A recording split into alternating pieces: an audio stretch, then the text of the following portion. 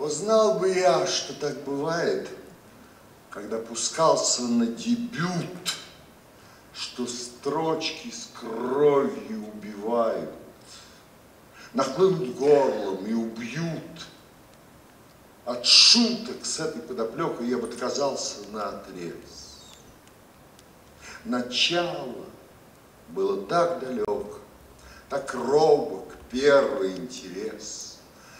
Но старость – это Рим, который взамен турусов и колес не читки требует с актера, а полной гибели.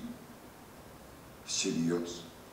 Когда строку диктует чувство, оно на сцену шлет раба. И тут кончается искусство, и дышит почва, и судьба. Во всем не хочется дойти до самой сути, в работе, в поисках пути, в сердечной смуте, до сущности протекших дней, до их причины, до оснований, до корней, до сердцевины, все время схватывая нить судеб, событий, жить, думать, чувствовать, любить, совершать открытие. О, если бы я только мог, хотя отчасти, я написал бы восемь строк о свойствах страсти, о беззакониях, о грехах, бегах, погонях, нечаянностях в попыхах, локтях, ладонях. Я вывел бы ее закон, ее начало и повторял ее имен, инициалы. Я бы разбивал стихи, как сад, всей дрожью жилок Цвели бы липы в них подряд гуськом, В затылок стихи б я внес Дыхание роз, дыхание мяты, Луга, осоку, синокос, Грозы, раскаты, так некогда Шопен вложил живое чудо фольварков, парков, рощ, могил в свои тюды достигнутого торжества. Игра и мука, натянутая тетива тугого лука. Быть знаменитым некрасиво. Не это поднимает ввысь, не надо заводить архивы, над рукописями трястись. Цель творчества – самоотдача, а не шумих, не успех, позорно, ничего не знача. Быть притчей на устах у всех, и надо жить без самозванства, так жить, чтобы в конце концов привлечь к себе любовь, пространство, услышать будущего зов. И надо оставлять пробелы в судьбе, а не среди бумаг, не ставить главы жизни целой, отчеркивая на полях, и погружаться в неизвестность, и прятать в ней свои шаги, как прячется в тумане местность, когда в ней не видать низги, другие по живому следу пройдут твой путь за пятью пять, но поражение от победы ты сам не должен отличать и должен ни единой долькой не отступаться от лица и быть живым, живым и только живым и только до конца. Мне по душе строптивый Норов, артиста в силе, он отвык от фраз и прячется от взоров и собственных, стыдится книг. Но всем известен этот облик. Он миг для пряток потерял, назад не повернуть оглобли, хотя бы затаясь в подвал, судьбы под землю не заямить. Как быть?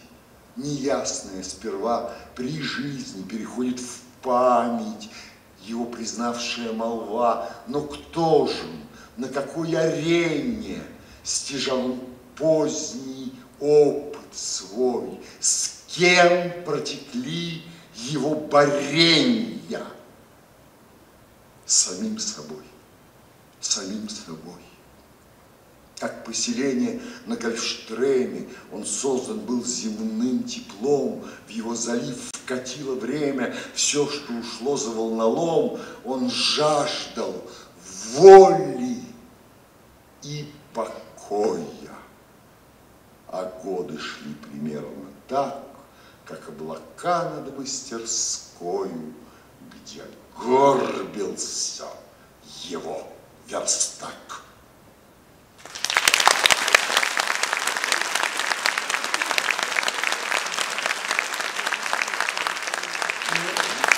я начал совершенно импровизационно, посмотрев на все то, что на экране было, с этих стихов Бориса Леонидовича Пастернака, такие стихи кредо, поразительные стихи, поразительные мысли, и такого много у каждого великого поэта. Пушкин, Недорого ценю я громкие права, от коих ни одна кружится голова. Я не ропщу о том, что отказали боги мне в сладкой участи оспоривать налоги или мешать царям друг с другом воевать. И мало горя мне, свободно ли печать? Морочит олухов, или чуткая цензура в журнальных замыслах стесняет балагура. Все это, видите Слова, слова, слова, иные лучшие мне дороги права, иная лучшая потребна мне свобода, зависеть от царя, зависеть от народа. Не все ли нам равно, Бог с ними, никому отчета не давать, себе лишь самому служить и угождать для власти, для ливреи, ни, ни совести, ни помыслов, ни шеи, по прихоти своей скитаться здесь и там, девясь божественным природы красотам и пред созданиями искусств и вдохновения, трепеща радостно в восторгах умиления. Вот счастье, вот права чего в мой дремлющий тогда не входит ум, говорил Роман Державин. Октябрь уж наступил, уж роща отряхает последние листы с ногих своих ветвей, дохнул осенний хлад, дорога промерзает, журчающе бежит за мельницу ручей, но пруд уже застыл, сосед не поспешает в отъезжие поля с охотою своей, и страждут озими от бешеной забавы, и будет лай собак, уснувшие дубравы. Теперь моя пора. Я не люблю весны, скучна мне оттепель, вонь, грязь, весной я болен, кровь бродит, чувства, ум тоскою стеснены, суровой зимой я более доволен, люблю ее снега, в присутствии луны, как легкий бег саней с подругой, быстрый волен, когда под соболем согрета и свежа, она вам руку жмет, пылая и дрожа. Как весело, обув железом острым ноги, Скользить по зеркалу стоячих ровных рек, А зимних праздников блестящей тревоги. Но надо знать и честь, полгода снег да снег. Ведь это, наконец, жителю Берлони медведю надоест. Нельзя же целый век кататься нам в санях с армидами молодыми или киснуть у печей за окнами двойными. Ох, лето красное, любил бы я тебя, когда бы не зной да пыль да комары, да мухи. Ты все душевные способности гуля нас мучишь, как поля мы страждем от засухи, лишь как бы напоить да освежить себя. Другой у нас мысли нет, и жаль зимы старухи, и проводив ее блинами и вином, поминки ей творим мороженым и льдом.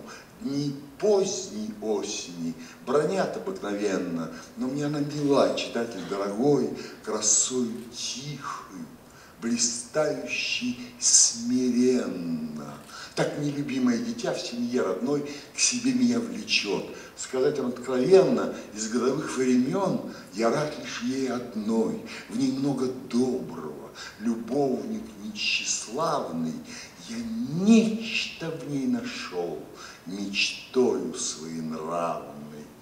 Как это объяснить? Мне нравится она, как, вероятно, вам, чехотошняя дева порою нравится. На смерть осуждена, бедняжка клонится без ропота, без гнева. Улыбка на устах увянувших видна, могильной пропасти она не слышит зева. Играет на лице еще багровый цвет. Она жива еще сегодня, завтра нет унылая пора, Очей очарован. Приятна мне твоя прощальная краса, Люблю я пышные природы увиданье, В багрец из золота одетые леса, в их сенях ветра, шум и свежее дыхание, и мглой волнистую покрыты небеса, и редкий солнце луч, и первые морозы, и отдаленные седой зимы угрозы. И с каждой осенью я расцветаю вновь. Здоровью моему полезен русский холод привычкам бытия вновь чувствую любовь. Чередой слетает сон, чередой находит голод, легко и радостно играет в сердце кровь, желания кипят. Я снова счастлив, молод, я снова жизни полн. Таков мой организм.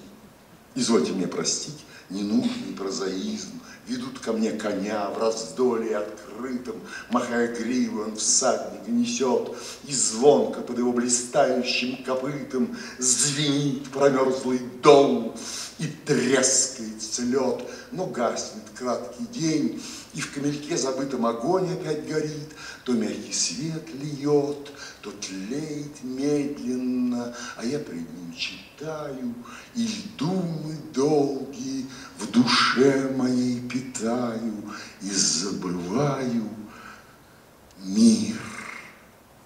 И тишине я сладко усыплен моим воображением, и пробуждается поэзия во мне, душа стесняется лирическим волнением, трепещет и звучит, ищет, как во сне, и злится, наконец, свободным проявлением. И тут ко мне идет незримый рой гостей, знакомцы давние, плоды мечты моей, и мысли в голове волнуются в отваге, и рифмы легкие навстречу им бегут, и пальцы просятся к перу.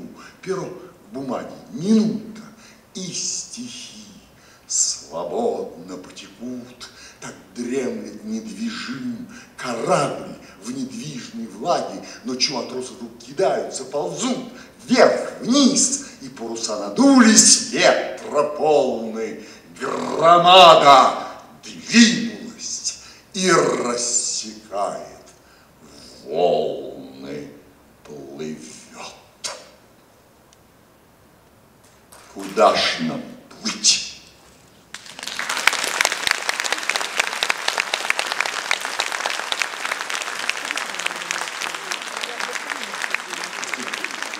Итак, ну, вечер называется, вы нами прошли в афише, театр, кино, э, поэзия.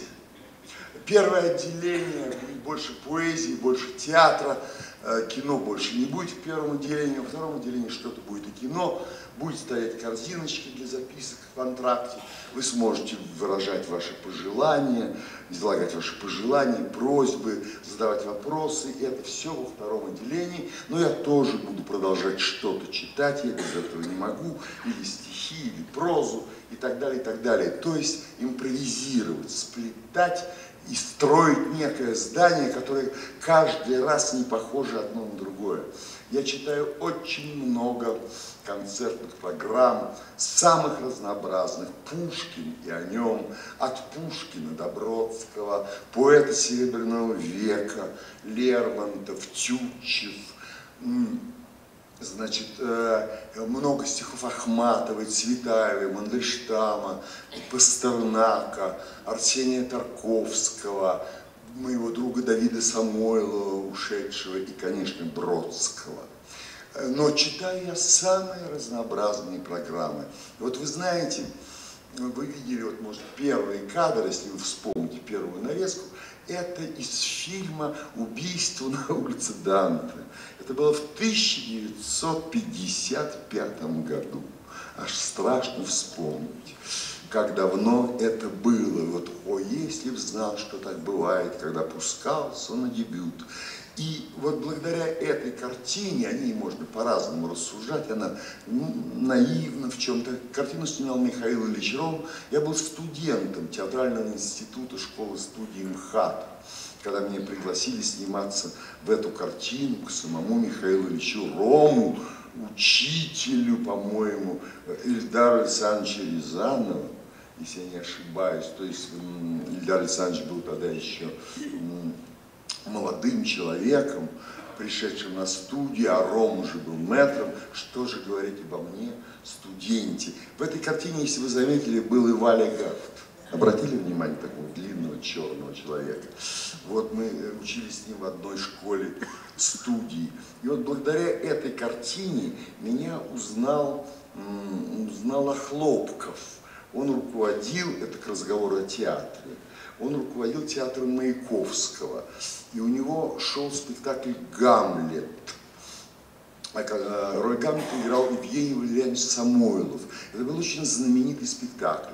Я закончил школу-студию МХАТ в 1956 году, как раз картина вышла на экран «Убийство на улице Данте», а тогда картин выходило мало, не был железный занавес, зарубежных картин совсем почти не было, наша каждая была на счету, и поэтому «Убийство на улице Данте» шло даже сейчас трудно представить, по-моему, чуть ли не в 35 или 40 кинотеатрах города Москвы. И меня узнала публика, но что еще важнее, обо мне услышал Охлопков. А он искал молодого актера на роль Гамлета. Вот вы видели, как я выглядел, примерно точно так же. Я пришел к нему в этом, так сказать, параде. Еще у меня были кудрявые черные волосы, черные глаза, худенький я был пробоваться на роль Гамлета, а он до этого пробовал 12 молодых актеров. Он хотел, чтобы эту роль в его театре, крови Самойлова, играл молодой человек, так сказать. Вот 56 год, изменились времена, наивные надежды, оттепели. Ему нужен был молодой Гамлет, который бы выражал свое поколение, молодое поколение. Его выбор пал на меня – это было чудо. Вообще я должен сказать, друзья, что такого счастливого по эм, удаче и совпадению года у меня больше не было никогда в жизни.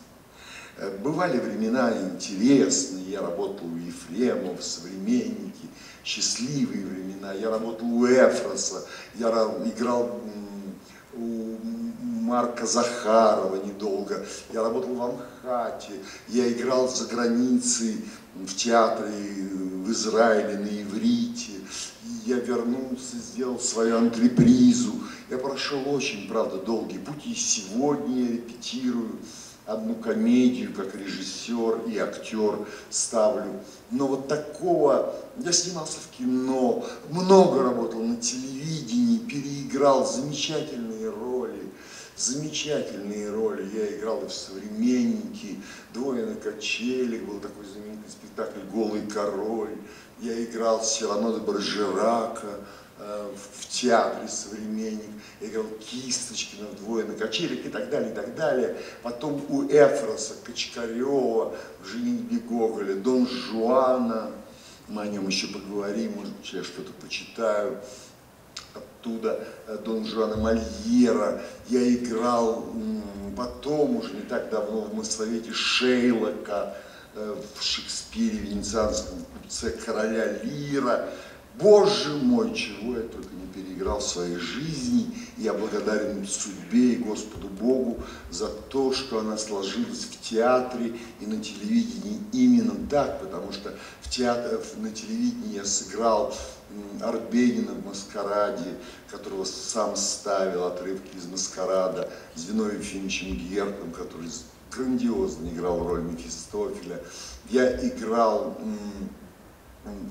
значит, я играл в Фауста, это я уже сказал, я играл Маскарад, я играл в телевизионных фильмах, в телеспектаклях, я играл, предположим, и на сцене, а потом на телевидении а, такую комедию о Бахе и Генделе. Я ее ставил, вообще я много сам ставил и сам играл. Ужин в четыре руки, где я играл Генделя. Ну, то есть всего не перечислишь. Любимый мой телефильм «Вся королевская рать». Но вот в Гамле 56 -го года мне 21 год. Сейчас вот я говорю вслух, это чистая правда. Я вообще стараюсь никогда не лгать ни в чем. Хотя бывает подчас не так просто. А с другой стороны, как говорил Булгаков, правду говорить легко и приятно, особенно приятную правду. Так вот, э, в 1956 году обо мне узнал Охлопков, пригласил. Я, как это ни странно, никто не верил, что пацан 21 года, что разрешит ему сыграть эту роль. В последнее время, а почему я и сам не знаю, я утратил всю свою веселость забросил все привычные занятия.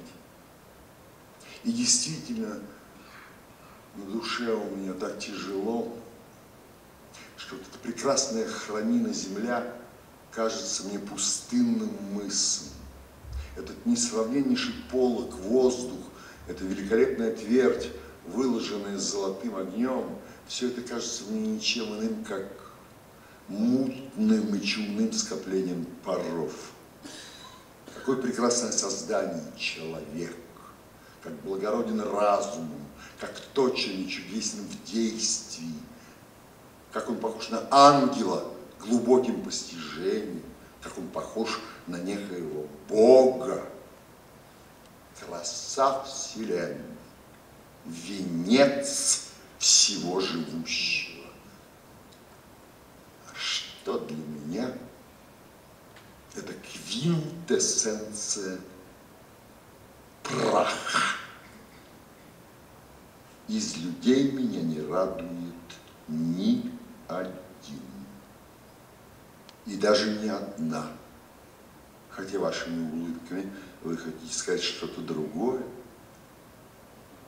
Быть или не быть. Вот в чем вопрос что благородней духом покоряться прощам и стрелам яростной судьбы, или, полчась на море смут, сразить их противоборством, умереть, уснуть и только. И сказать, что сном кончаешь, тоскуй тысячи природных мук – наследие плоти. Как такой развязки не жаждать? Умереть, уснуть, уснуть и видеть сны, быть может. Вот в чем трудности. Какие сны приснятся в смертном сне? когда мы сбросим тленные оковы. Вот что пугает нас. Вот где причина того, что бедствие так долговечны. Кто снес бы плети и глумлений века, гнет сильного, насмешку гордеца, боль презренной любви, сутей неправду, заносчивость властей. оскорбления, чины безропотной заслуги, когда он сам мог дать себе расчет простым кинжалом. Кто бы плелся с ношей, чтобы охоть и потеть под нудной жизнью, когда бы страх чего-то после смерти. Безвестный край, откуда нет возврата, земным скитальцем воли не смущал, внушая нам терпеть невзгоды наши и не спешить к другим от нас сокрытым. Так трусами нас делает раздумь. И так решимости природный цвет хереет под налетом мысли бледным, и начинание, взнесшиеся мощно, сворачивая в сторону свой ход, теряют имя действия. Но тише, Офелия, твоих молитвах, нимфа, все, чем я грешен, помяни. Это был, были фрагменты из Гамлета Шекспира.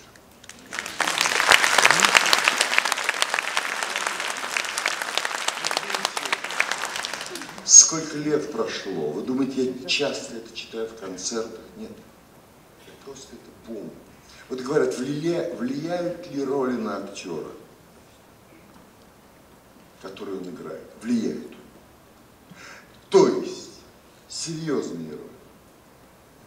Э, те роли, которые выставлены тобой, они влияют. Да, ты молод, тебе 21 год. Ты еще ничего не прожил в жизни, практически. То есть прожил, конечно. Ты прожил вместе с родителями их трудную судьбу, смерть братьев, одного на фронте, другого дома. Ты прожил и видел, как арестовывали твою мать. Ты видел, как сажали других. Ты испытал в деревне, куда меня увезла моя любимая нянечка, баба Катя, ты видел голод 40 восьмого года. Ты видел деревни, где деревня Богоявления под Великими Луками, где почти не было мужчин. Война вышибла всех, одни бабы, и, которые трудились.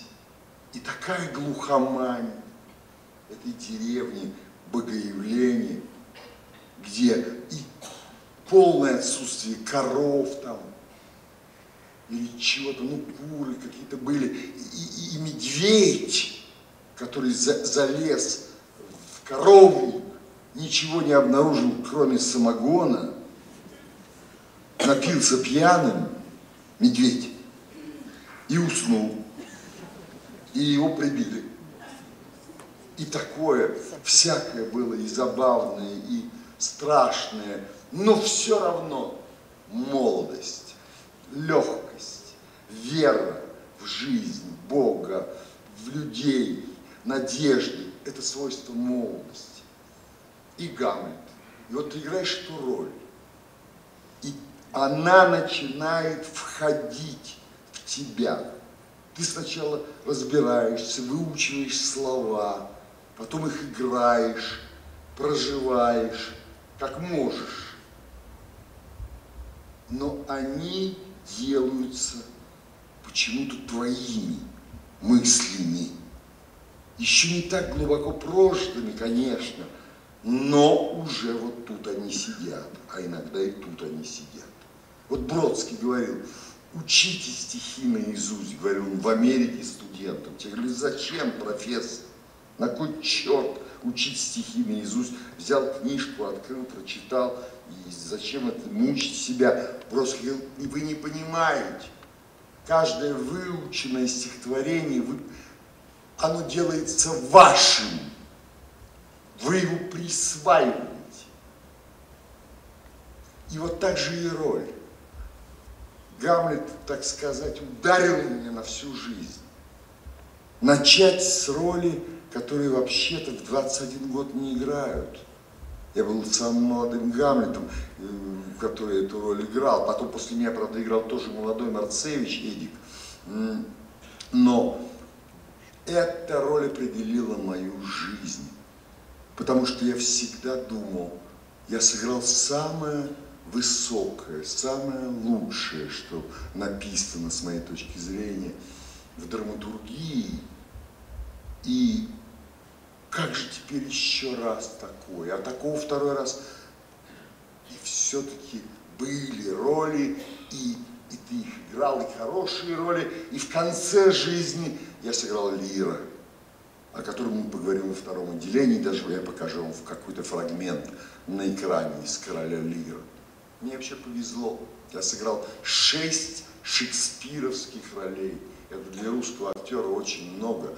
И даже сделал фильм «Играем Шекспира», который, значит, э, вышел на ТВЦ, по-моему, даже есть DVD, я не знаю, здесь есть они или нет, который сделал как режиссер, такой авторский фильм. Гамлет. Не случайно Гамлет стал не просто персонажем э, сценическим, а живым человеком. Это очень странно. Вот вы понимаете, так сказать, многие проживали, некоторые проживали судьбу Лира, Толстой, который не любил пьесы Шекспира, а кончил как Лир, уйдя из дома, прячась, и почти полусумасшедший где-то погиб на станции. Но Гамлет все равно это нечто отдельное. Мы о нем говорим и спорим как о живом человеке не как о персонаже, который был написан. И не случайно столько стихов о Гамлете. И у Блока «Я Гамлет, холодеет кровь, когда плетет коварство сети, и в мире первая любовь слилась с единственной на свете». И, конечно, потрясающие стихи. Есть у Цветаевой в защиту королевы, и у Ахматовой, у кого только нет – но гениальность у Высоцкого. А, я только малость объясню в стихе. Он играл Гамлета на Таганке. Все я не имею полномочий. Но гениальные тоже стихи, а, которыми, кстати, начинался спектакль «Гамлет на Таганке», который играл Владимир Семенович Высоцкий. Он сидел, мы входили в зал, представьте себе красная такая кирпичная, по-моему, стена, пустой, пустое пространство. Сидел Владимир Семенович, Володя в черном свитере, черные брюки, гитара стояла рядом, гитара, Гамлет, а потом он выходил вперед и в качестве эпиграфа пел Пастернака Гамлет. Правда, четыре строчки вымарывались. Я подмигнул вам, какие вымарывались цензурой. Гул затих, я вышел на подмостки, Прислоняясь к дверному косяку. Я ловлю в далеком отголоске, Что случится на моем веку. На меня наставлен сумрак ночи, Тысячу биноклей носи, Если только можно, аве отче, чашу эту мимо пронеси. Я люблю твой замысел упрямый и играть согласен эту роль, но сейчас идет другая драма.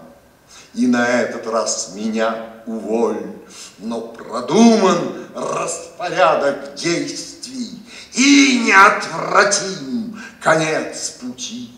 Я один, все тонет фарисействе жизнь прожить, не поле перейти.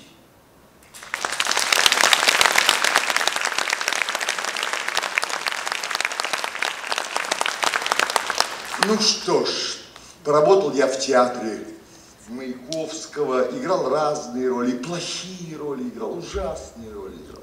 Но меня душа моя тянулась к современнику, к моему учителю – Олегу Ефремову, царство ему небесное. Он был еще преподавателем, когда я учился на втором курсе. Он был молодым актером, э, Центрального детского театра, где работал, кстати, одновременно с ним и Анатолий Васильевич Эфрос, у которого мне повезло тоже потом играть. И вот он молодым человеком пришел преподавать к нам на курс и, и ставил нам с Витей Сергачевым первый отрывок вместе с Василием Петровичем Марковым, он был его еще тогда ассистентом, где я сыграл характерную роль в первый «Я сарпачанс такой, нихтя, что вот. И это умная, такая тонкая роль, и Олег мне ее выстроил. И я потом пришел, и когда я пошел не, не, делать современник, в, в эти годы, в 56-м, создавался современник, Олег его создавал, с Галей Волчок, с Игорем Квашой, с Лилией Толмачевой, э, с Женей Евстигнеевым, он был моим сокурсником, я был его сокурсником. А, эм, но тут Гамлет. И, значит, Ефремов сказал мне, ну, знаешь, Мишка, иди поиграй Гамлета, от Гамлета не отказываются, а потом все равно вернешься в современник. Три года я поработал у Охлопкова, и к большому недоумению Николая Павловича я играю Гамлета, у Никиты еще приличные роли тоже были. Я поехал в 23 года на фестиваль в Канаду, на Всемирный Шекспировский фестиваль, когда никто никуда не выезжал, почти мы с Михаилом Ивановичем Царевым поехали на этот фестиваль, он играл Макбета в, театр, в Малом театре, я играл Гамлета. Я выступал тогда в 1600 или 2000 мест в зале, где читал монологи Гамлета и играл одну сцену с ребятами, ну, с актерами, которые играли по-английски, я играл по-русски. И вдруг я все это бросаю, иду куда? И тогда Охлопков сказал, ты сумасшедший, ты играешь Гамлет, ты играешь, э, как у меня на тебя большие планы.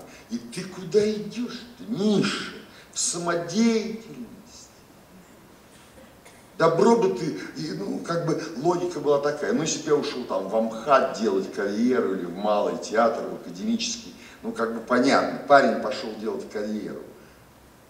Нет, в кружок самодеятельности, как назвал еще не возникший театр. Он возник, э, современник уже, он уже сыграл «Вечно живые» и так далее в 59 году. И я говорю, отпустите меня ради Христа. Он обиделся отчаянно на меня. Я ушел, он взял Марцевича, Эдик стал играть роль Гамлета вместе с Самойловым, а я пришел в современник и началась очень интересная пора моей жизни молодого современника. Все это я как мог описал в двухтомнике своем, вернее, он стал двухтомником, начинал я писать э, мемуары, э, значит, довольно рано все смеялись надо мной в 78 году, что ты еще мало, так сказать, не старик, а ты пишешь мемуары, к чему это? Я счастлив, что я начал именно тогда. Все было очень живо, все было э, время. Я не о себе писал книгу, я писал о временах и о людях, с которыми я сталкивался, о том же Охлопкове, о том же молодом современнике.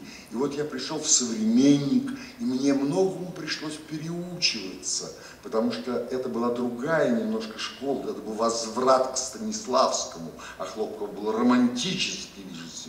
Правда, меня он простил играть по-мхатовски, жестко, правдиво, так сказать. Я говорю, для чего я тебя взял? Я как раз хочу, чтобы ты был контрастом даже к этим воротам Рындина. Декорации такие огромные стояли, и сидел оркестр, который э, живой оркестр, симфонический, который играл разную музыку. А ты должен играть контрастно, как современный человек как современный, ищи современные интонации, говорил он мне.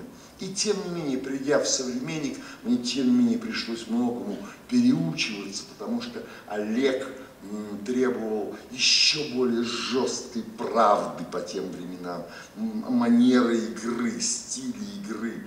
И мне не сразу все стало удаваться. Я помню первый спектакль по пьесе Олега Скачкова, я забыл даже, как она называется. И это был провал, провал спектакля, и мой провал. И я прямо заметался, думаю, может, я зря, правда, ушел от Хлопкова. И какая-то вторая еще роль. Я дублировал Олега. Олега дублировать было очень трудно, потому что он был большой артист Депретора Винченцо, итальянскую пьесу. Но я постепенно как-то вошел в эту роль, но все равно я отставал от моих товарищей. В это время мои товарищи, которые организовались «Современник», и знаменитыми, которые стали впоследствии, как лучший наш актер, конечно, Женечка Евстигнеев, Евгений Саныч, он старше меня на 9 лет был, Олег на 7. Олег Табаков, молодой, худенький, Лилечка Толмачева, красавица, эм, и так далее, и так далее.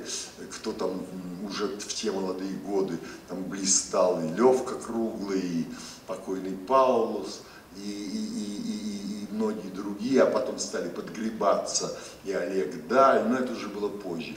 А у меня не шло. Я заметался, думаю, черт возьми, что ж такое?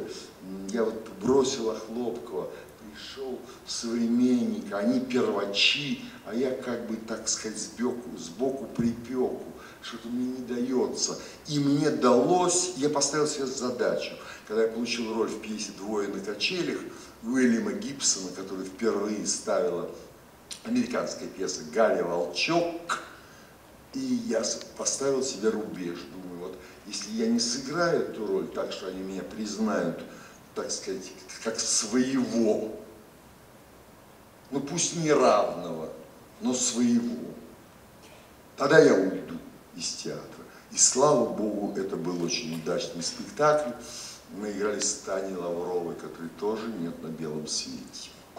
И, и с Лилией Толмачевой. Хорошая лирическая пьеса для двух персонажей. Прекрасная пьеса в переводе Тренева. И моя судьба пошла. И тут пошел фарт. И я играл, и, значит, в «Голом короле» я сыграл небольшую, но смешную роль, характерную. Я вообще, вот, может, вы заметили, я актер, в общем, ну, стремящийся к широкому диапазону, не только играл там, героев каких-то там, ну, даже, даже драматические роли, но я любил и, люблю комедии очень, и, и люблю характерности разные, брать на себя маски такие вот, ну это видно по этим ролям моих идиотов, типа этого гомосексуалиста в соломенной шляпке голубого, или там это Ченсле, э, и так далее, и так далее. И в театре я тоже пробовал себя в разных вариантах, и сыграл повторяюсь, Сирано и Кисточкина, а была у меня еще такая роль, очень забавная и очень трудная. У нас был спектакль, он назывался «Баллада о невеселом кабачке». Это американская пьеса Эдварда Олби, очень знаменитого э, тогда американского драматурга, написавшего «Кто боится Вирджинии Вульф», эм, и другие пьесы по роману Карлсон Маккалларс. Такая странная пьеса о любви. И я играл в этой пьесе от автора. Это очень трудно, вы знаете. Знаете, почему трудно? Невыгодно. Потому что актеры что-то играют, любовь, какой-то конфликт, сцены, а ты выходишь на публику, вот как я стою перед вами, и говоришь какие-то слова. Но был там один монолог, один монолог, который я очень любил. Там запутывалась ситуация в любви. Треугольник такой был, странный треугольник. Играла Волчок, такую, как сказать, мужеподобную бабу, и в нее был влюблен красавец, Гарик Васильев играл.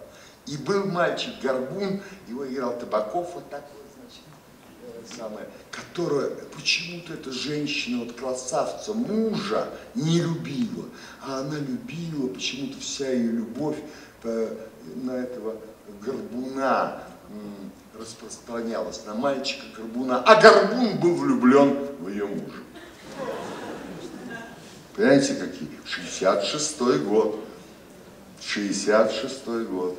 И вот я, когда ситуация запуталась, выходил вперед и говорил, ну что ж, пришла пора поговорить о любви. А что же такое любовь? Что это такое? Ну, прежде всего, это чувство, которое связывает двоих. Но это вовсе не означает, что эти двое испытывают одно и то же.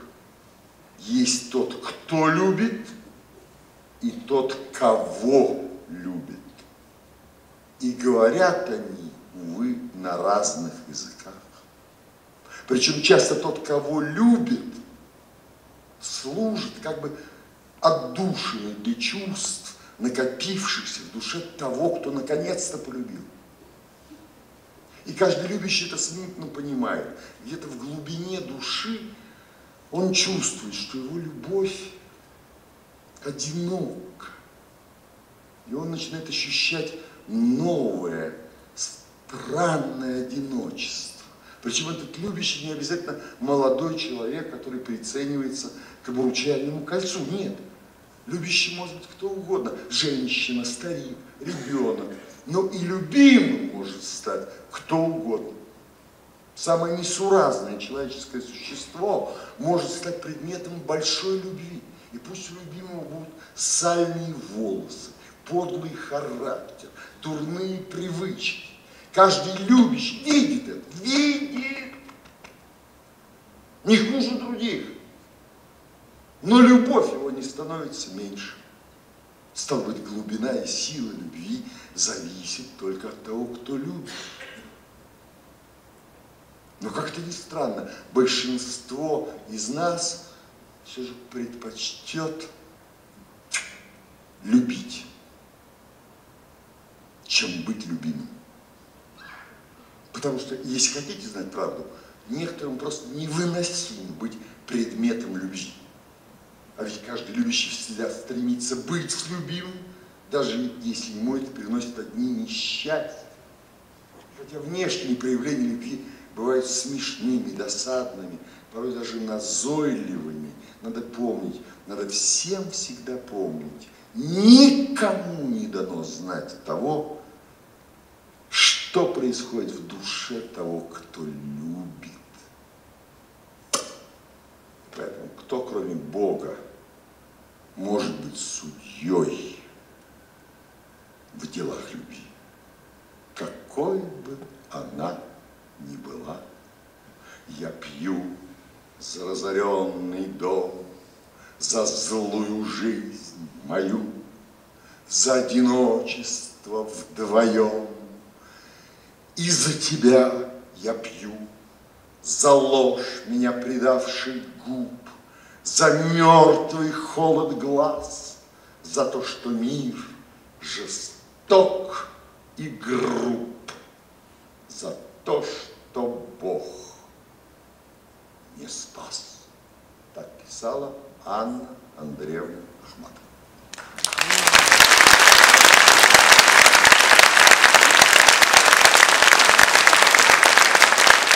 Вот такой э, импровиз. Я, вы знаете, так, э, когда вот веду вечера, у меня их много, разных, у меня 8 программ вообще в голове. Спасибо тебе, Господи, за это. Вот, э, я читаю о нем, программу Бродского, ну и так далее, и так далее, Чучел. А, а вот такие вечера, творческие вечера, особенно если они бывают крайне редко. Вот театр, кино, вот такой, такой микс. И мне, вы знаете, сегодня жутко интересно самому уже проверять себя что я помню, что я не помню, что для меня важно, что не важно. И этот интерес, без него вообще любой вечер, если тебе самому не интересно, если только, так сказать, э, демонстрируешь какие-то свои э, возможности актерские, это мура. И тут кончается искусство. Понимаете? Это, поэтому забавно, Забавно это все вспоминать. Хм, тут же на ум идет очень смешная история. Вот это я играю этого рассказчика, я вам говорю, как его трудно играть, все-таки монолог хороший. На одно дело я стою перед вами, вы внимательно меня слушаете, пришли на мой вечер, я вам его читаю, сопровождаю стихами. Вот представьте себе на сцене, ты выходишь все время с этими монологами, а публика она говорит, ну, ну, пускай они играют. Ну, так не было уж, но, но все-таки что-то в этом было. И этот негодяй Табаков, тогда молодой, тогда худенький, тогда веселый. То есть он и сейчас веселый. Вот он такой кот-матрос. Да. Значит, а тогда он такой был обаяшка, и любили его все. И вот представьте себе, у нас молодые были, хулиганы, смешили друг друга на сцене. Я, я вообще-то терпеть этого не могу, эм, если это не по делу. Но в современники умели смешить и очень ловко, лихо это делали, так что публика не замечала. И вот я выхожу с каким-то монологом, читаю, и вдруг, значит, Табаков вот так ломая меня, почти как Ричард Третий, говорит, такому рассказчику за щеку.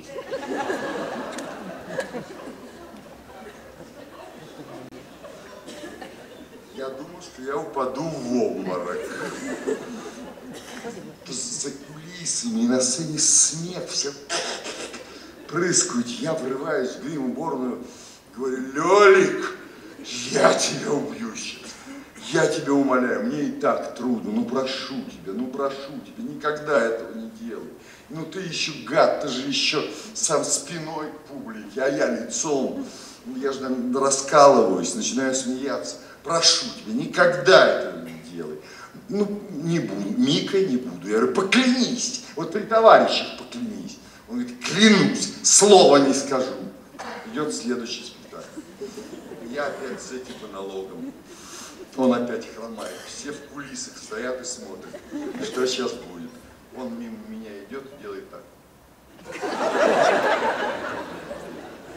И такое приходит в голову. Но это все шутки. На самом деле, так сказать, мы жили жутко интересно. Жутко интересно, интересный театр, пробивались роли, э, какие-то у меня прокалывали, так сказать, хорошие роли, были плохие роли, всяко было. Все это в книжке. Может, когда-нибудь купите, сейчас вышел двухтомник дорого стоит, зараза. Понимаете? И мне за это ничего не платят, так что я, мне, я, мне, мне бы лучше, чтобы он подешевле продавался, чтобы читали люди в провинции. Вот, говорят, дорого для нас, 2000 рублей, дорого на две книжки. Однако покупают, передают из рук в руки, хвалят. Вот сейчас Эльдар Александрович ему нравится очень книга, не только ему. Вот он мне сейчас сказал, а ты что, пишешь новое? Я говорю, нет, сейчас не пишу, только тайные дневники для правнуков, вот, которые печатать не будут. Вот, а, пиши, да ты же литератор, и мне об этом говорили. Но я не считаю себя писателем. Литератор может быть, может быть. Но мне интереснее все-таки заниматься правдой, ставить, играть. И мне везло. Я играл хорошие роли. Понимаете, вот, например, у Эфроса Значит, я пробовал в «Современнике», потом был в Амхате недолго, ставил пьесу о Пушкине Зорина с покойным Роланом Быковым, с которым мы очень дружили. Пьесу закрыли, Ролана, значит, э, Фурцева называла уродом, кошмар. Э, Зорина не допустили даже на обсуждение его собственной пьесы. Вот. Я ушел из МХАТ, Олег меня понял. Я сказал, Олег, я не могу. Они столивары начинали ставить какие-то там, вот, и Фурцева. Вот столивары ставьте, а это вот, это вот не надо, это медная бабушка, это, это, это, это, это. Не знали, что они делали. Масса ассоциаций возникала. И там и, и стихи были пушкинские определенные. Дар напрасный, дар случайный жизнь зачем-то мне дана? Или зачем судьбою тайной ты на казнь осуждена? Кто меня враждебной властью из ничтожества звал, душу не наполнил страстью, ум сомнением, взволновал. Цели нет передо мной, сердце пусто, празден ум и томит меня тоскою однозвучной жизни шум. Но это еще куда не шло. Ну, когда выездная комиссия Министерства культуры смотрела спектакль еще в фойе, и Ролан играл в гриме Пушкина, похож был невероятно. Он по росту один в один с Александром Сергеевичем. В гриме просто ну, невероятно. Это могло быть чудо. Пушкинисты, которые были на прогоне, просто балдели от него. А я говорю, Ролка, прочти вот в этом месте, вставь стихотворение Александра Сергеевича такое, там в прозе у Зорина все, я говорю, прочти это, вот это «Свобода сеятель пустынный».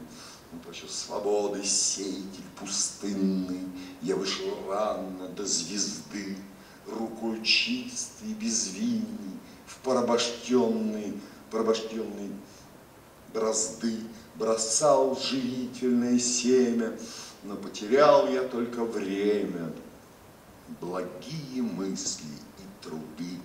Паситесь, мирные народы, вас не разбудит чести клич. К чему стадам дары свободы? Их должны резать или стричь. Наследие им из рода в роды ермо с гремушками до печи.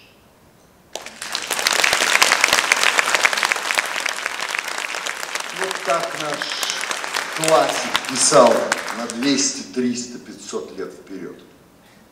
А, а у Эфоса, я пошел к Эфосу, пошел к Эфосу и началась чудная роль, чудного спектакля «Дон Жуан» Мольера. Мы с Колей «Царство небесное» Волковым играли Дон Жуана, с Гонорель Дуров играл с Волковым, со мной играл Леня Коневский. А потом я стал играть и с Дуровым. Этот спектакль пользовался очень большим успехом. Он такой диспут о Боге. Есть Бог или нет? Если Бога нет, а Дон Жуан утверждает, что его нет, и все время спорит с Гонорелем, он говорит, ну что? Он говорит, ну а во что же верите? То, что я, я верю, что дважды два четыре, а дважды четыре восемь. Вот так вера, вот так религия и возникает спор. А что ж, кто же это создал, все, и так далее, и так далее, и так далее, и так далее. И вот я сыграл эту роль. И Самойлов, мой друг, старший друг, человек военного поколения, прошедший войну, однажды позвонил мне и сказал, Мишка, знаешь, а мы дружили много-много лет с семьей, обожаю его стихи, он самый поразительный человек, просто, ну, правда, поразительный великий человек. И он говорит, знаешь, по телефону, он жил в Пярну. А Пярну это такой городок, знаете, в Эстонии, когда-то назывался Пернов еще, в царские времена, там любили отдыхать. Давид Самоус с семьей жил там. Он звонит мне по телефону, говорит, Минь, знаешь, я, вот ты играешь Дон Жуана, мне нравится, эм, ну, как известно, Дон Жуан это 365 э, Дон Жуанов есть на белом свете. В смысле написанных у Леси Украинки, и у Тирса де Малинина, и у, да у кого угодно. Он говорит, я тоже написал своего Дон Жуана, только весь фокус в том, что у меня Дон Жуан доживает до старости. Обычно Дон Жуан умирает молодым, да, приходит командор, Пушкина, помните, каменный гость, проваливаются и так далее, и так далее. А вот что было бы, если бы Дон Жуан дожил до старости? И он мне прочитал это сочинение по телефону. Я говорю, Дезик, умоляю тебя, пришли, я буду быстро, оно легкое, такое замечательное, прямо ложится в уши и в разум, и так далее, и так далее. Старый дом, он прислал, старый Дон Жуан, убогая комната в трактире, Дон Жуан, чума, холера, треск, гитара, мандолина – Каталина! Каталина входит. Что? Кабальеро. Дон Жуан не знает, что мне. Подойди, чума, холера, раз над нее хвором вспомни. Посмотри, как он страдает. Дай мне руку, Каталина. Ну вас, старый кабальера. Каталина убегает. Дон Жуан, постой, сбежал. Внучка Евы, род злодейский, чтобы юного нахала ублажать в углу лакейской. Где мой блеск? где бал насущный, ежедневных наслаждений, а теперь девчонки скучной домогаюсь, бедный гений. Зеркало, ну что за рожа, кудри, словно кот наплакал, нет зубов, обвисла кожа, зеркало роняет на пол вовремя сойти со сцены не желаем, не умеем. Все Венеры и Елены изменяют нам с флакеем. Видимость важнее сути, ибо нет другой приманки для великосветской суки и для нищей оборванки. Старость хуже, чем увечье, довело меня до точки, страшное противоречие существа и оболочки. Жить на этом свете стоит только в молодости, даже если беден, глуп, не стоит. Старость ничего нет гаже. Господи, убей сначала наши страсти, наши жажды. Неужели смерти мало, что ты нас караешь дважды? Юный дух страстей порывы, ненасытные желания. Почему еще вы живы? на породе умирания. Неужели так, без спора, кончилась моя карьера? Каталина! Каталина! Входит череп командора. Череп, здравствуй, кавалера. Сорок лет в песке и в прахе. Я валялся в бездорожье. Дон Жуан отпрянул в страхе. Матерь Божия, Матерь Божия, кто ты, череп? Помнишь? Анну Дон какая Анна? Ах, не из Толедо, ах, не из Гренады, или та, что постоянно распевала серенады. Помню, как мы с ней певали в эти дивные недели. Как она теперь жива? Ой, о чем Что-то там все с супругом приключилось ненароком, не о том ли ты с намеком, череп я к твоим услугам, череп я не за расплатой, судит пусть тебя предвечный, расплатился ты утратой юности своей беспечной, старый череп командора, я пришел злорадство ради, ибо скоро, очень скоро ляжем мы в одной ограде, ибо скоро, очень скоро ляжем рано средь тумана, старый череп командора, старый череп. Дон Жуана, Дон Жуан, смеясь, всего лишь мстишь за старую интрижку, или впрямь ты мне мир волишь, или пугаешь, как мальчишку. Мне не страшно, на дуэли мог я сгинуть для забавы, а теперь скрипят, как двери, старые мои суставы, череп смерть принять, не шлюху обнимать. А ты, презренный, ничего не отдал духу, все то отдал жизни тленной. Дон Жан, я жизни тленной отдал все.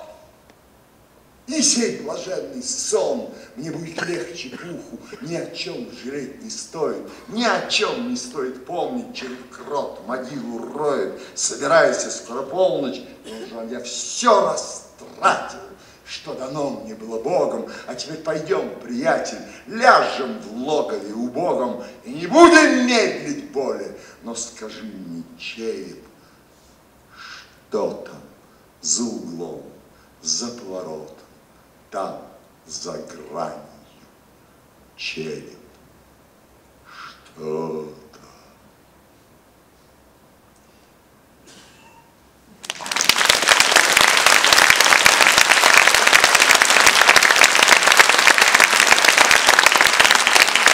Я перебрал регламент первого отделения просто на более чем на 35 минут. Как вы меня еще терпите? Вы знаете, я заводной человек. Это, э, действительно заводной, в 73 года. Пора иметь. Э, ну, а он Стронга, знаете, как звали? Я обожаю джаз. Сачмо. То есть много. Сачмо. Это прозвище было, значит. Э, много играет. Сачмо, как Кобзон. Ну, так вот и я Сачмо. Или Кобзон. Э, э, хорошо, я иду к концу первого отделения, чтобы закончить в театре с поэзией, потом почитаю, я посмотрю, что вы хотите, чтобы я почитал, записки бросите, я почитаю, там еще будут три фрагмента разных из кино, но в основном, конечно, чтение это важнее и, и это интереснее самому. Хотя фрагменты ничего выбраны, и там есть о чем рассказать, потому что многое для вас новое будет вообще.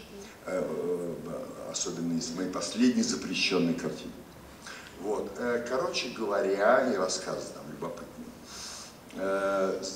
Будем надеяться, что значит, вам будет интересно.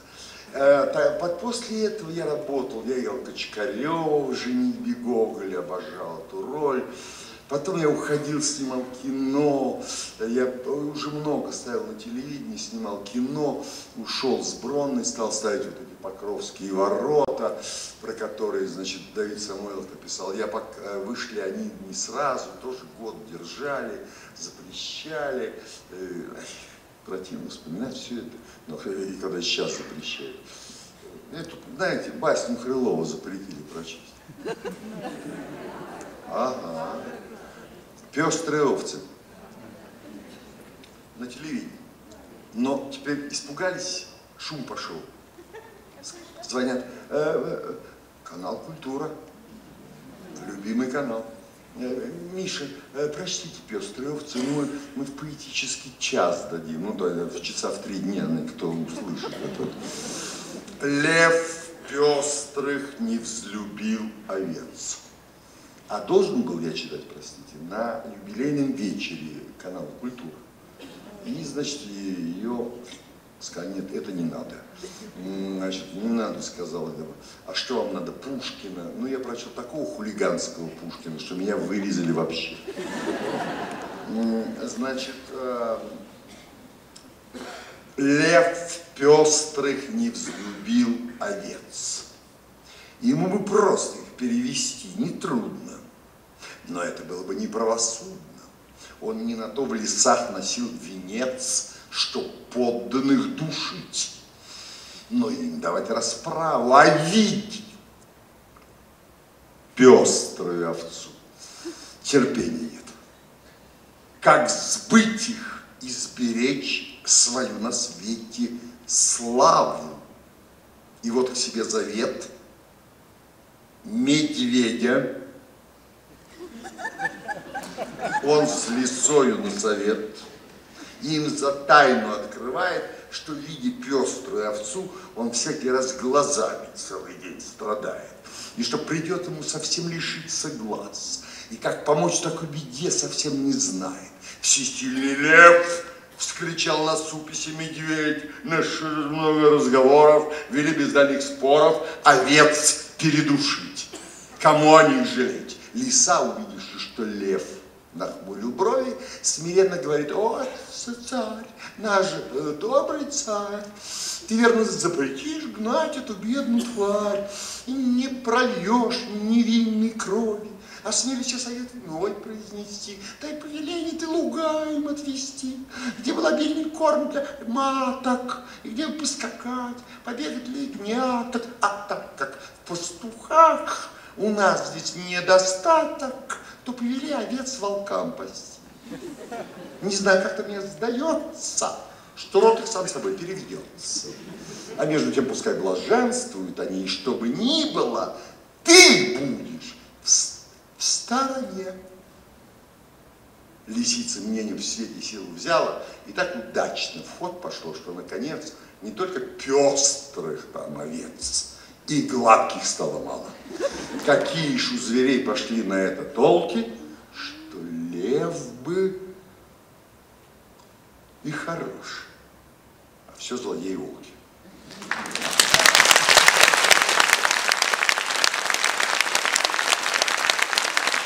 Отдыхайте, а потом второе видео.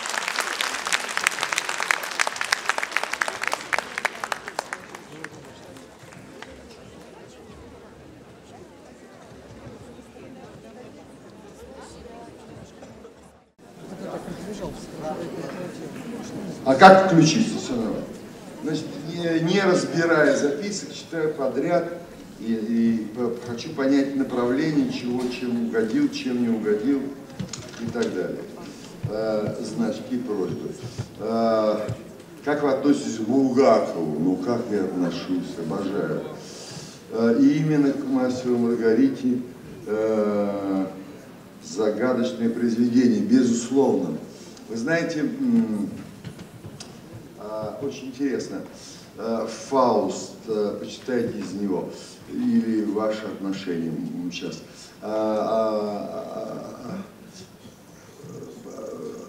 Остановитесь, прекрасное мгновение, ведь это так прекрасно, я понял.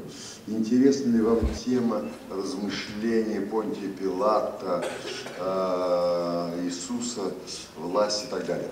Значит, открою тайну это я могу говорить на эту тему часами, э, но я сделал пластинку, я не знаю, продается она в диск там, э, Евангелие от мастера. Было там, нет? Вот, э, это я, значит, сделал с музыкой Шандер Калыша такой альбом «Один за всех» сыграл всю эту историю пилатовскую. И еще, надеюсь, отношения с этой вещью мои не закончены. ЕБЖ, говорил Толстой, если буду жив, я написал пьесу э, для театра о Понтии Пилате по Булгакову. Теперь насчет загадочности, вы абсолютно правы. Вот у Ахматовой есть такие стихи памяти Булгакова. Она дружила с ним, бывала, э, значит, у него дома была незадолго перед смертью. А, я был знаком с Еленой Сергеевной Булгаковой, а мама моя просто дружила с ней. И вот она рассказала историю примечательную.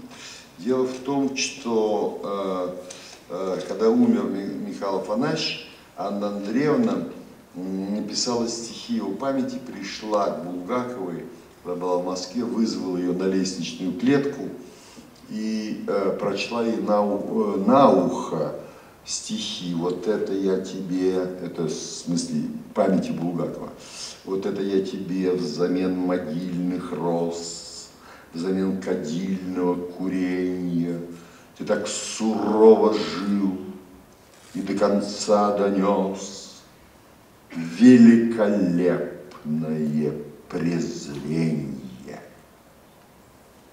Ты пил вино, ты как никто шутил, И в душных стенах задыхался, И гостью страшную Ты сам к себе впустил.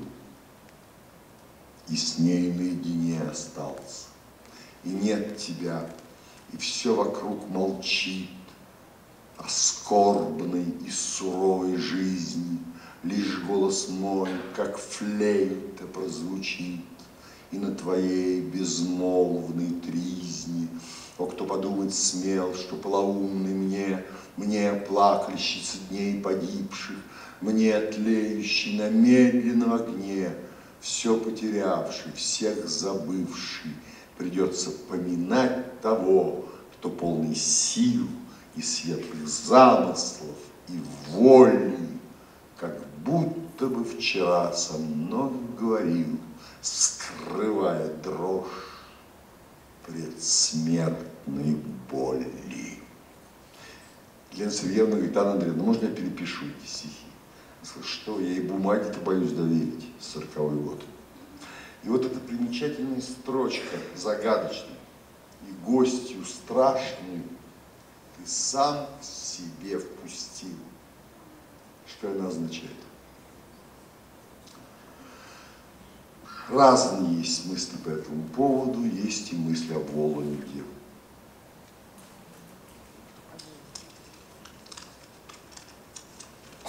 Вещь гениальная абсолютно. Мечтаю поставить и сыграть ее в антрепризе. И написал пьесу. Почитайте, пожалуйста, Бродского. Будет сделано. Какова судьба очарования зла? Будет рассказано, когда буду показывать фрагменты. Пока закрыт. А скажите, пожалуйста, существует ли сейчас двор, где снимался фильм «Покровские ворота»? Наверное, да, но я там давно не был. И место, где снимались сцены в больнице, есть. Э, очень хочется взглянуть, если возможно. Покажите, как можно найти. Это больница, знаете, я не знаю, как она называется. Вот по Садовому кольцу ехать, если ехать мимо Курского вокзала, туда вот к реке, и вот там ну, над рекой больница такая старая. Там, вот снималась больница. А, далее. Ой, какой большой. Здравствуйте, Казаков, я Орлова Ирина Робертовна. Очень люблю э, что такое Меньшикова. Вот такой вопрос, где будет сниматься Олег Евгеньевич. Он у Никиты Михалкова снимается. Очень хочет, чтобы он больше снимался в кино. Он снимается. Он очень хорошо сыграл, кстати, он сыграл плохо Бендера, но очень хорошо, по-моему, сыграл Живаго. Очень хочет, чтобы он больше снимался. Передавайте ему большой привет. Я ему звоню, общаюсь только через секретарей. Вот все. Ну вот так. Хотя я его очень люблю. Так, далее. Нет, иногда и с ним, через шофера. Дорогой, любимый, уважаемый, на вопрос э, мы подготовили, вы уже ответили. Смешно, не так ли? Э, теперь просим то, что сегодня вам по душе. Самуил, Бродский, ну и так далее. Хорошо. Угу. Пусть сделано Бродский 2. Ваше отношение к вере. Христос воскрес, поют во храме, но грустно мне, душа болит. Мир полон кровью и слезами, этот гимн пред алтарями так оскорбительно звучит. Когда бы он был меж нас и видел, чего достиг наш славный век, как брата брат возненавидел, как опозоренный человек. И если б здесь, в блестящем храме, Христос воскрес, он услыхал, какими горькими слезами перед толпою зарыдал. Мережковский.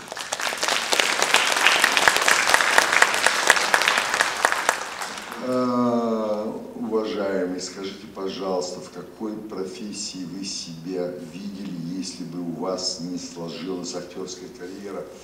Думаю, что рядом с литературой, может литература веческая, что-то такое. Полагаю так. Я очень жалею, что я не учил язык, языки, как в старину говорилось. Когда я был молод, я был дурак. Мы думали, что зачем учить? Ни одного иностранца в глаза не видели. Вот. А потом, хотя мог учить. Потом, когда я более-менее изучил иврит, чтобы играть на иврите, когда я жил в Израиле, я понял, какие возможности открывает вообще знание языков. Даже иврит, не говоря уже об английском, французском, а вообще-то учить надо китайский. Вот. Э, если возможно, почитайте наиболее любимое вами творение Бродского обязательно хотелось бы сравнить с выбором. Я очень люблю много у него, поэтому я могу не угадать то, что любите вы. А, э, пожалуйста, почитайте Самойлова разговор Пушкина с Пестелем. Знаю, что вы имеете. Если будет время, с удовольствием прочту. Мне надо еще показать вам кое-что. Пожалуйста, Бродского, побольше. Видите, какая публика. Я вам хочу сказать, дорогие мои, мне так приятно, читать эти записки. Значит, сейчас в театре современной школы современной пьесы новый мой, мое представление «Ниоткуда с любовью». Мы играем его, мы сочинили его с Качаном, ну, собственно, сочинил его я, Качан помог, Володя. там мы и стихи, и мы играем сцены диалогов Бродского, и поют Бродского на музыку четырех композиторов Качан и Настя Модестова. А, на экране иногда идет хроника, рисунки Бродского, такое шоу Бродский, ниоткуда с любовью. У него есть гениальное стихотворение, написанное, ну, как всегда, как почти всегда, Марии Басмановой, которую он очень любил, которая порвала с ним, хотя родила сына Андрея. Ниоткуда, это в Америке написано, ниоткуда с любовью. 15 мартабря. Дорогой, уважаемый, милая, но не важно даже кто, ибо черт лица, говоря откровенно, не вспомнить уже, не ваш, но и ничей верный друг вас приветствует с одного из пяти континентов, держащегося на ковбоях. Я любил тебя больше, чем ангелов и самого. И поэтому дальше теперь от тебя, чем от них обоих. Поздно ночью, в уснувшей долине, на самом дне, в городке, занесенном снегом, по ручку двери, извиваясь ночью на простыне, как не сказано ниже, по крайней мере, я взбиваю подушку мычащим. Ты за морями, которым конца и края в темноте всем телом твои черты, как безумное зеркало, повторяю.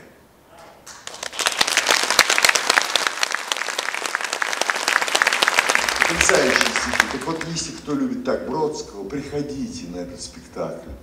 Он не, почти не рекламируется в школе современной пьесы, ниоткуда с любовью. И еще я сам себе составляю конкуренцию. Э, вот послезавтра и по, после послезавтра буду в, на Покров, как это бульвар называется, забываю, э, рядом с Пушкинским кинотеатром. Страстной. Как? Страстной. Страстной. Вот там есть такое желтое здание, и всякие бутики там и прочие глупости. А на одном этаже э, есть маленькие помещения. Мы там играем концерт для голоса и саксофона, который когда-то играл с Козловым, потом с, с Бутманом, теперь играют с Сашей Ивановым. И вот там я очень много читаю Бродского, и там, и там. И читаю в сухую Бродского, и без всего. Мне, поэтому очень приятны эти записки. Приходите, пожалуйста.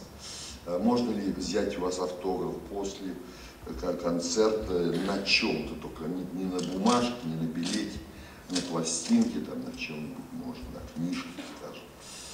Эм, далее, уважаемый, пожалуйста, исполните ваш любимый отрывок из Онегина. О, я люблю его всего. Вот никогда не читал целиком вот, пожалуй, чего я не сделал в жизни, о чем я жалею. Не знаю, на радио можно было бы записать, уже на эстраде вряд ли я осилю это. Вот. А, хотя очень много знаю наизусть оттуда. А, благодарю за то, что вы не бронзовеете при жизни, это исключено. А, бесконечные похвалы. Вы думаете, меня только хвалят, меня так долбают ни за границей, ни в отчизне. Благодарим ваш дуэт для голоса, спасибо, саксофона. И за Евангелие света от мастера и, и так далее, и так далее. Благодарим за то, что вас не осеняет э, Станиславский. Почему? Когда читаете для нас. Нет, Станиславский всегда со мной. Вот. И потому вы чтец. Это другая немножко профессия, играя чтение но, но рядом. Вы чтец, э, благодарю и дай вам Бог. Спасибо большое. Покажу жене, чтоб ценила. А, из Гамлета в переводе Пастернака я читал Лазинского. Э, я читал Лазинскую. Я не Пастернака читал. Из Гамлета. Это как раз Лазинский. Кстати, Ахматова оценила перевод Лазинского выше, чем Пастернака. Хотя это вопрос спорный. Вот. А читал я Гамлета как раз Лазинского. Скажите, пожалуйста, почему вы не читаете Есенина? А, я вам скажу, я мало читаю Есенина, про себя читаю много. Иногда, когда пьяный особенно. Вот, а, «Черный человек» – гениальное произведение. Дело в том, что, опять не хочется долго рассказывать, Есенин бывал в нашей семье даже. Меня не было в живых еще, я не родился. Он дружил с моей бабушкой, Зоей Дмитриевной. Э, боялся ее очень. Дворянка строгая была очень. Вот. И с мамой. Вот. И с Марингофом, с автором отца. Они читаю, потому что, знаете, на, я читаю одно стихотворение,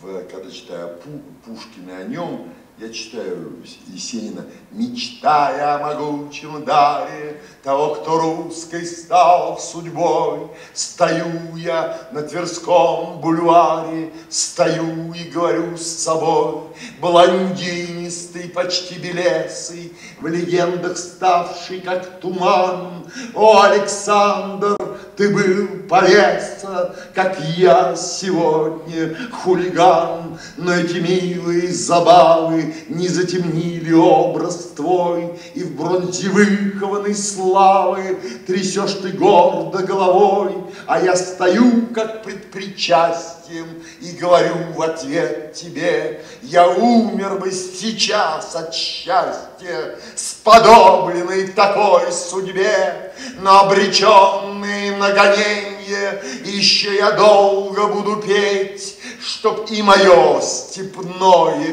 пенье сумело бронзой прозвенеть.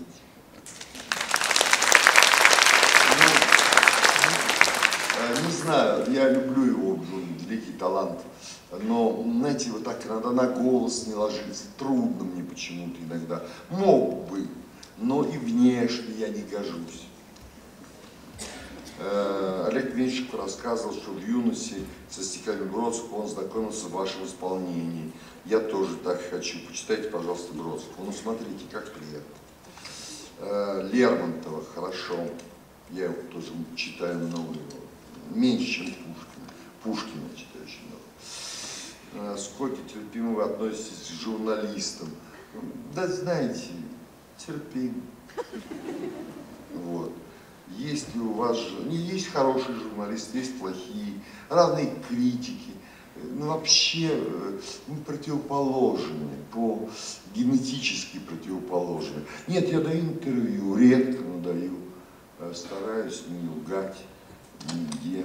Вот. Но, к сожалению, надо даешь, час рассказываешь. Вот мы с Ильей Александровичем сейчас перед началом говорили, он устал, у него вчера юбилей был, он извинился, ушел, понятно. А, понимаете, вот говоришь час, вот как с вами, а потом вот так, и ты плоский, маленький, не маленький делаешься, плоский, метраж, все, это еще если хороший журналист, а если плохой, так еще и напутает. И даже хороший понимаете, я разозлился страшно на мою подругу. Она очень хороший театральный критик. В итогах там задавали вопрос, как всем нам, не всем, но кому-то, как вы относитесь к «Войне и мир», последней, значит, вот этой версии.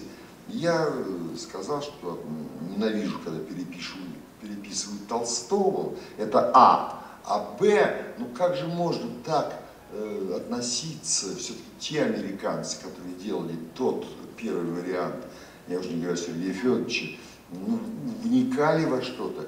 И я ей говорю, ну посмотри, я говорю, ну э, маленькая княгиня на голову выше э, Андрея Балконского. Ну, к примеру. Можно сто примеров таких привести и, там, и, и так далее.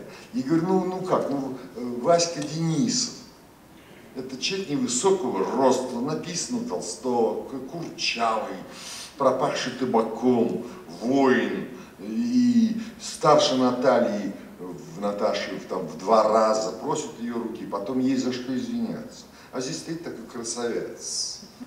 высокого роста. Ничего не понимаю, не хочу. И, и вдруг моя подруга пишет, все пишет, как я сказал, кроме одного, что и как же можно, чтобы Васька Денисов был курчавый, небольшого роста. Я говорю, ну это же люди скажут, Казаков не читал роман. А это большой, большой критик. Аж, ну потом, ну извини, всем говоришь, что это я. Я говорю, ну кому я скажу? Что, статью писать? Да. Значит, Лермонтова. Дальше. Пожалуйста, Тютчева. Попробую. А, Бродский. Так, видите, все. Значит, Бродский э, когда-то на меня произвело впечатление счастливого несчастливого человека, а я, я не играл там. Так, э, тут, может, я не, не допонял вопроса. Э, примерно в 56-м, когда вы репетировали пьесу о физике лириках, вы участвовали в десанте на 12 этаже гостиной МГУ, чтобы, чтобы показать отрывок из пьесы. Пока ваши товарищи играли, вы стояли среди студентов, чтобы узнать нашу реакцию. Я увидел вас и громко закричал, высказал, чего критические соображения. Интересно, как вы сейчас относитесь э, к так называемым проблемам физиков и лириков? Да не все люди. А, хочу, вы э, счастливы, обязаны вашему э, так много читаете, помните стихов. Спасибо. Э, так, так, так, э, я, я имею удовольствие слушать вас второй день подряд. Спасибо вам большое. Спасибо за э, вчерашний Бродского, вашему прочтению. Кто режиссер спектакля? Я. Если можно, наконец, почитать еще Давида Самойлова, стихи Пушкина и, и которые для культуры с уважением. Э, так, э, значит, э, вы хотите мне читать свои восемь программ в Ильдаре, я бы прочитал, но придут ли люди, я не знаю. А все-таки творческие вещи тут объединяют тех, кто кино любит, понимаете, они же боятся, им сбор нужен. Вот. вот. вот спасибо. Прочтите э, самое свое. Так, все, пора читать, я чувствую. Э, что вас подписывает, в чем черпаете силы. Э, силы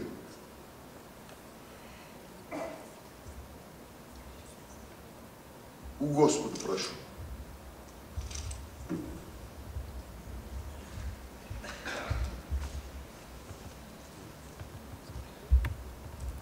Бродский. Он ленинградец, я ленинградец. Нас это объединяет. Да не будет дано умереть мне вдали от тебя, В голубиных горах кривоногому мальчику в торе. Да не будет дано и тебе, облака торопя, В темноте увидать мои слезы и жалкое горе. Пусть меня отпоет хор воды и небес, и гранит пусть обнимет меня, пусть поглотит мой шаг, вспоминая. Пусть меня отпоет, пусть меня беглеца осенит белой ночью.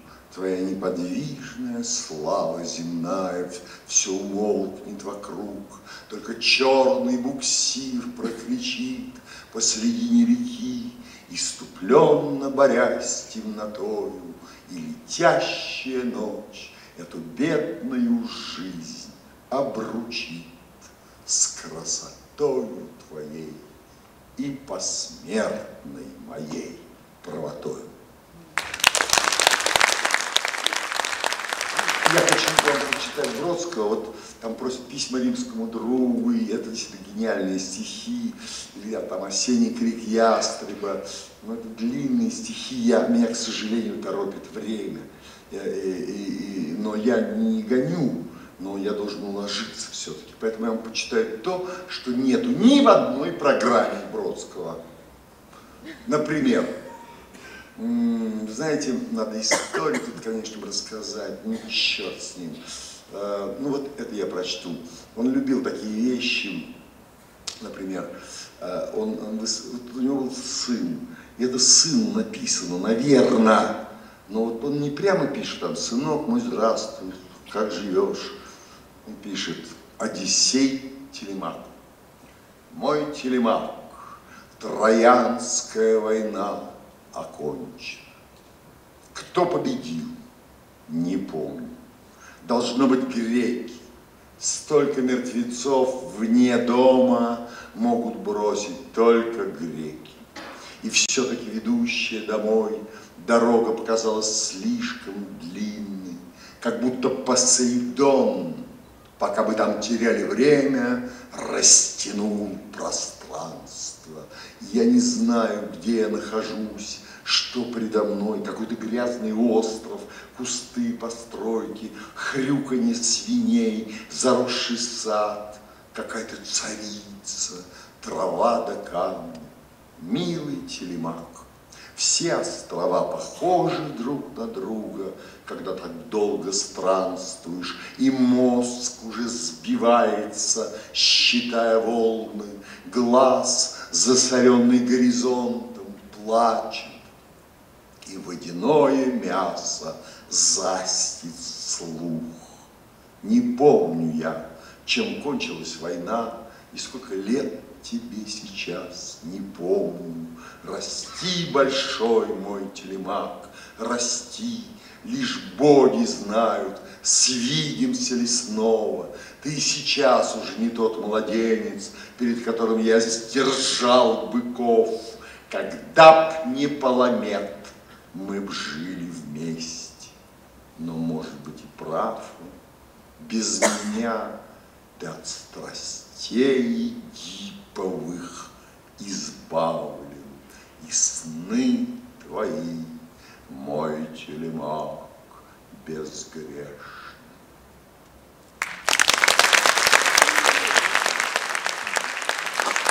Или классический балет посвящается Михаилу Барышникову. Вы знаете, Барышников, Балерун, они друзья в Америке живут. Классический балет есть замок красоты, чьи нежные жильцы от прозы дней суровой, пиликающие ямы оркестровой отделены и задраны мосты. В имперский мягкий плюш мы втискиваем зад, и крылышку я скорописью ляжет красавица, с которой не ляжешь, одним прыжком выпархивает в сад. Мы видим силы зла в коричневом трико и ангела добра в невыразимой пачке и в силах пробудить от элизийской спячки овации Чайковского и Ко, классический балет, искусство лучших дней, когда шипел ваш грок, и целовали в обе, и мчались лихачи, и пелось «Боббе-оббе». А ежели был враг, то он был маршал Ней, в зрачках городовых желтели купола, в каких рождались, в тех и умирали гнездах. И если что-нибудь взлетало в воздух, то это был не мост, а Павлова была. Как славно вечеру вдали всея Руси Барышникова зреть.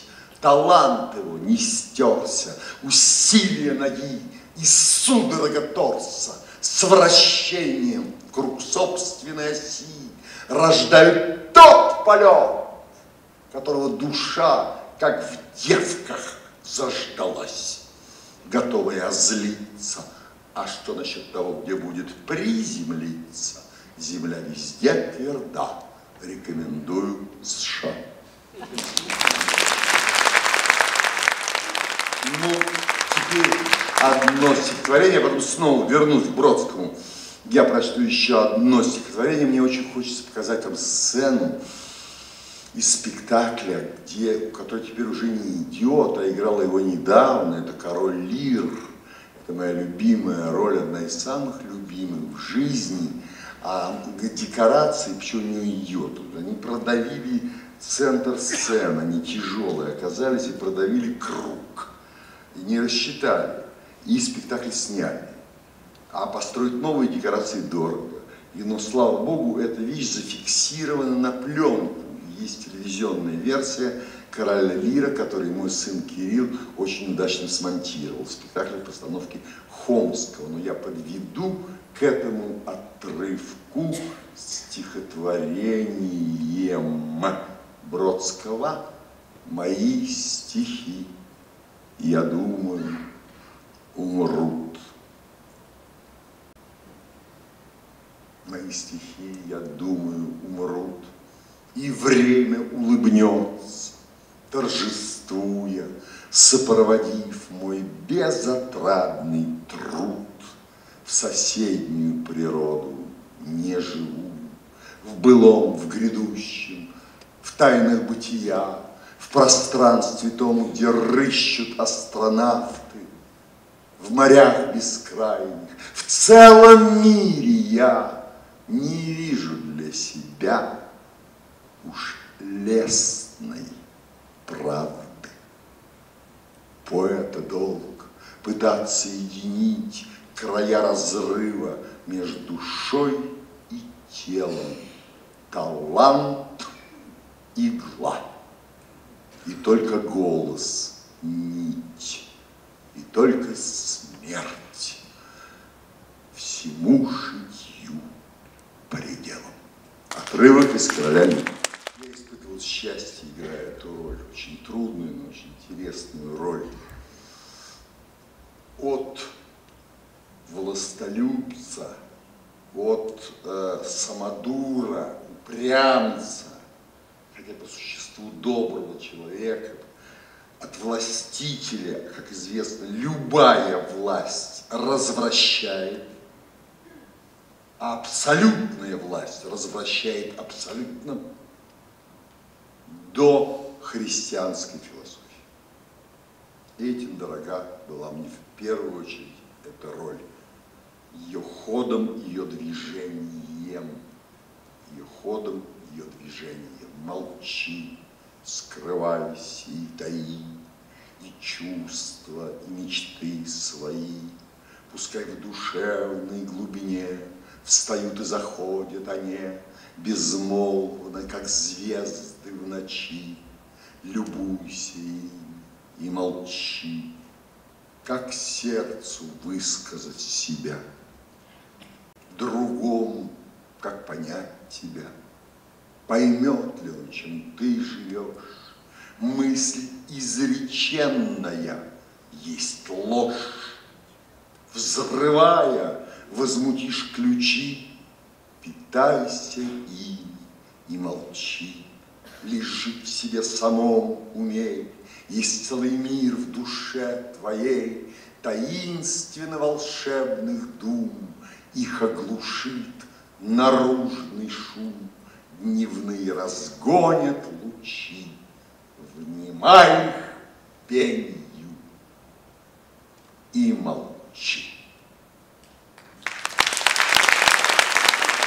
Это был Тютчев, которого просили прочесть. Я читаю много его стихов.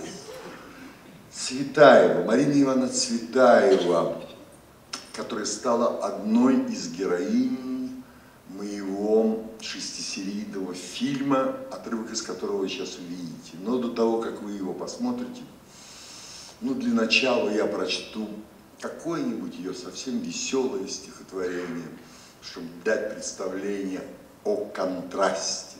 Когда я буду бабушкой, годков через десяточек, причудницей, забавницей, вихрь с головы до пяточек, внук кудряш Егорушка взревет, давай ружье, я брошу лист и перышко, сокровище мое.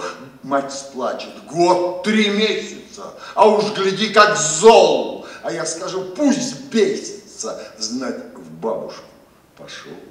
Егор моя утробушка, Егор ребра от ребрышка, Егорушка, Егорушка, Егорий, свет храбрец, когда я стану бабушкой, седой коргой, с трубкою, и внучка в полночь глядучись, шепнет, взметнувший юбками, кого скажите, бабушка, мне взять из семерых.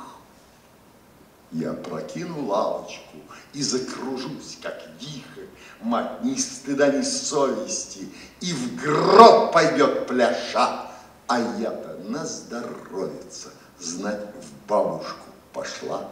Кто ходок в пляске рыночной, тот лихо на перинушке. Маринушка, Маринушка, Марина синь моря, Отцеловалась бабушка, голубушка, со сколькими. Я дань платила песнями, я дань взымала кольцами, Ни ночки даром проспанной, все в райском, в саду. А как же, бабка, Господу предстанешь на суду? Свистят скворцы в скворечнице, Весна-то, глянь, бела.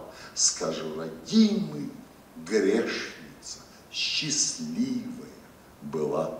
Выше ребрышка, от ребрышка, Маринушка с Егорушкой, Моей землицы горсточку возьмите в узелок.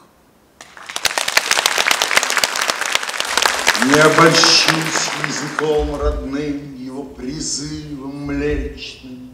Мне безразлично, на каком непонимаемым встречным читателем, газетных тон глотателем, доильцем сплетен двадцатого столетия он а я до всякого столетия, остолбеневший, как бревно, оставшийся от аллей, мне все равны, мне все равно, и, может быть, всего равнее, роднее, бывшее всего, все признаки с меня, все меты, все даты, как рукой сняло, душа, родившаяся где-то, так край меня не уберег. Мой, что и самый зоркий сыщик вдоль всей души, всей поперек родимого пятна не сыщет, всяк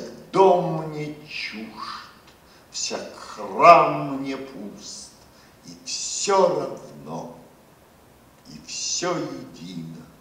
Но если на дороге куст встает, особенно рябина.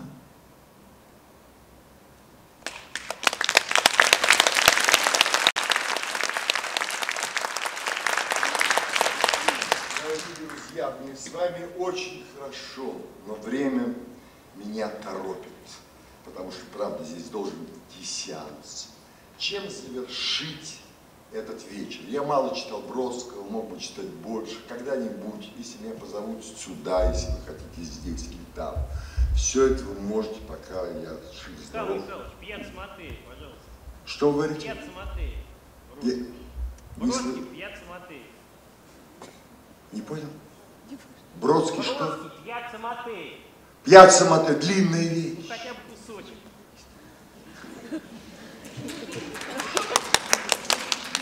Меня убьют там. Мы заступимся. Да. Отобьем. Хорошо. Пьяца Матей, я обожаю. Это тут весь Бродский. Вот э, это написано, значит, э, Пьяца Матея, площадь Святого Матфея. В общем, у него был роман эм, с- с некой Микелиной. Ну, понятно будет все из стиха. Короче. Я пил из этого фонтана в ущелье Рима. Теперь, не замочив кафтана, канаю мимо. Моя подружка Микелина в порядке штрафа мне предпочла кормить павлина в имении графа. Граф в сущности совсем не мерзок. Он сет и строен, я был с ним по-российски дерзок, он был расстроен.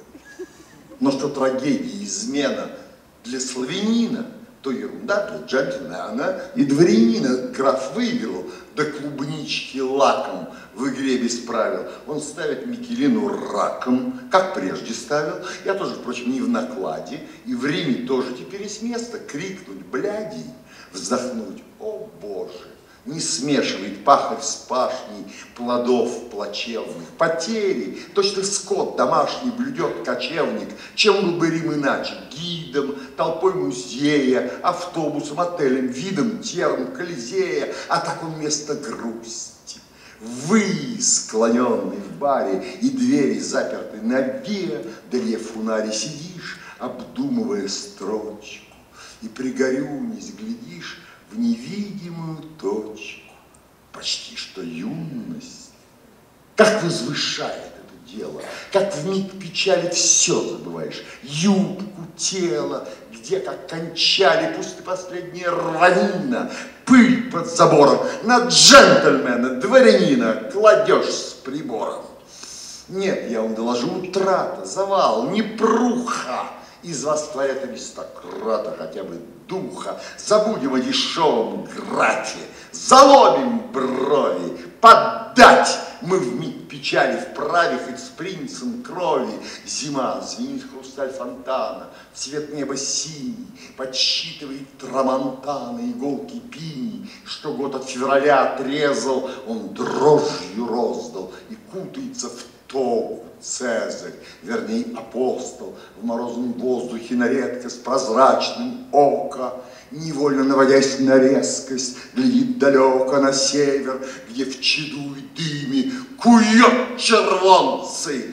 Европа мрачная, я прими, где светит солнце, я пасынок державы дикой, с разбитой мордой, другой, не менее великой, приемыш гордый, я счастлив в этой колыбели. Муз, право, Граций, где Назу и Вергилий пели, вещал Гораций, попробуй уже отстраниться, взять век в кавычки, быть может, и в мои страницы, как в их табличке, кириллицу не побрезгав и без ущерба для зрения, главное из резвых взглянет Эфтерпа, не в драчке, я считаю, счастье в чертоне царском, а в том, чтобы, обручив запястье с котлом швейцарским, остаток плоти терракоте, подвергнуть синий и сколотой Буанаротти и Боромини, спасибо парки, проведение. Ты, друг издатель, за перечисленные деньги, сего податель, векам грядущим в назидание. Пьет чоколад Альта Компана в центре мироздания. И циферблата с холма, где говорил октавой порой иною таз, созерцая величавый вид предо мною ни купола, ни черепица со св отцами, то мир вскормившая волчица спит вверх сосцами и в логове ее.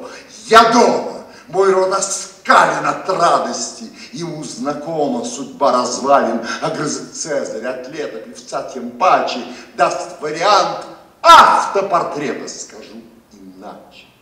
Усталый раб из той породы, что зрим все чаще, под занавес глотнул свободы. Она послаще любви, привязанности, веры, креста, овала, поскольку и до нашей эры существовало и свойственно к тому же упрямство, покуда время не поглупеет, как пространство, что вряд ли семя, свобода взлом, чертополохи в любом пейзаже даст из удушливой эпохи побег и даже Сорвись все звезды с небосвода, исчезни местность, все же не оставлена свобода, чья дочь словесность. Она, пока есть в горле влага, не без приюта, скрипи перо, черней бумага, лети минута.